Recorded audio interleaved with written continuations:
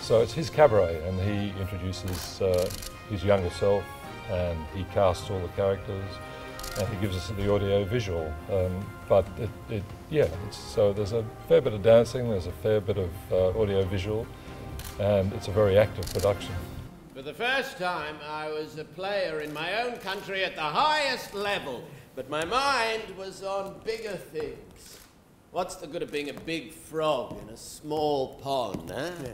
Fine for my father, not for me. When you're writing a character, you try and draw back from your own personal feelings about the character and you try and be the character as you're writing them.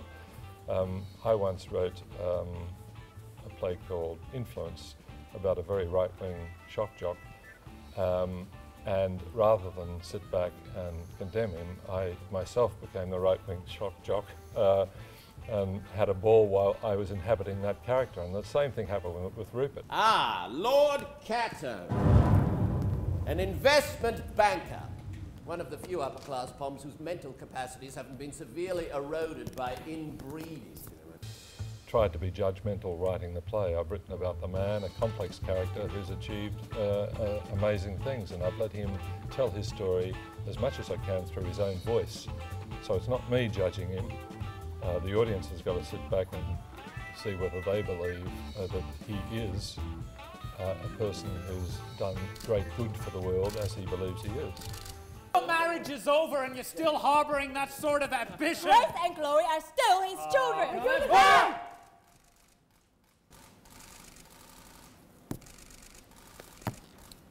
Okay, that's sort of where things are now.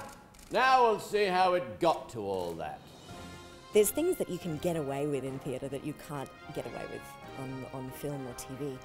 And so that's firmly the place we're in. I'm not interested in, in mimicry as such. I'm interested in the way great actors can capture the essence of a moment and so you can glimpse a person, the real person, trying to cover 60, 70, 80 odd characters and 60 odd years.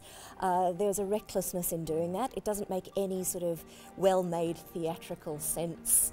Off you go, make a world where all of this is possible, and that's where the idea of of cabaret and and Brecht's techniques and, and vaudeville and music hall all came from was really an attempt to try and bottle this whole story into one slightly contained stage.